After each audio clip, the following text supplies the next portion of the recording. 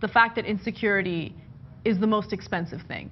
Because Right. the more insecure you are, the more likely you are to go out there and do things to make yourself feel good about yourself. And look, I'm no one to talk. Like I've always, I've obviously had a nose job. I spent a considerable amount of money to make that happen. So I'm not judging. I'm just saying that when you're bullied for something and, and it's and it stays with you, you will go to extreme lengths in some circumstances to completely change it. And and in some cases, like this one, you will go to the extreme lengths, and it's it's sad.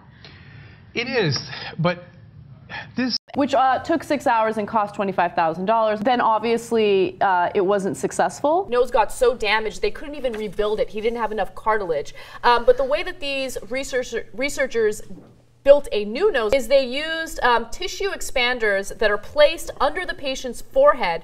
Then doctors fashion uh, the rough shape of a nose from supports, which are planted with cartilage tissue harvested from the patient's ribs. Also, that the blood vessels grow through. And so they wait until it's actually grown through enough and is shot through with blood vessels so that it has its own blood supply and will survive when it's trans. So they used artificial supports Yep. and then they used the artificial supports to, to insert cartilage cells. The cartilage cells then, I guess, take over on the supports and then the, the, the flesh grows over and through. Yeah. So I know why it happened, but it still breaks my heart.